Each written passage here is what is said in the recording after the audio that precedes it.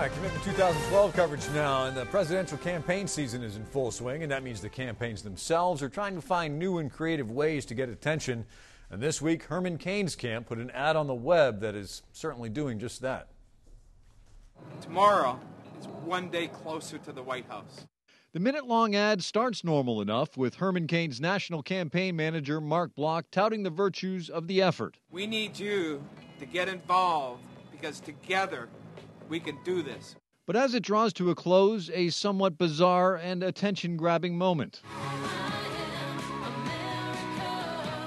Yep, that's Block taking a drag off a cigarette. And on Thursday, Cain's New Hampshire field director did his best to explain the message behind it.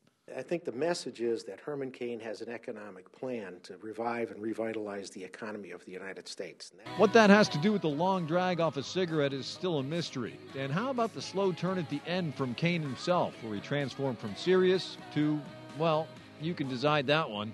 At any rate, Cain's camp says it's pleased with the attention its ad is getting if it gets Cain's 999 plan more looks. What draws people to that plan is a means and a mechanism that uh, other minds above my pay grade come up with. Well, at any rate, the ad is getting a lot of attention with nearly a million hits on YouTube. And when asked about it, Cain himself said there's no hidden message and that it's his campaign manager's way of saying America has never seen a candidate like Herman